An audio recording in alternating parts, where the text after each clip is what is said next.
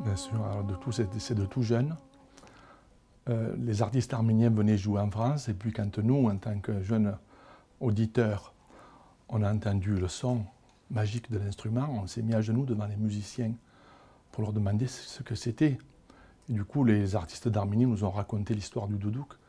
Et à partir du moment où j'en ai eu un dans les mains, j'avais 14 ans, donc jusqu'à aujourd'hui, je n'ai plus arrêté de, de, travailler et de jouer cet instrument qui est magique et magnifique. Et donc, il est le premier instrument du peuple arménien.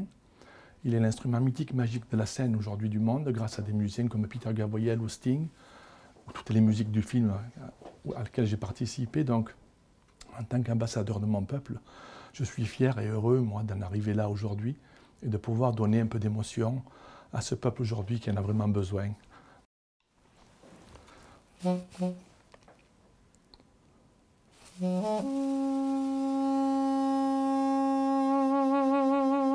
Mm-hmm.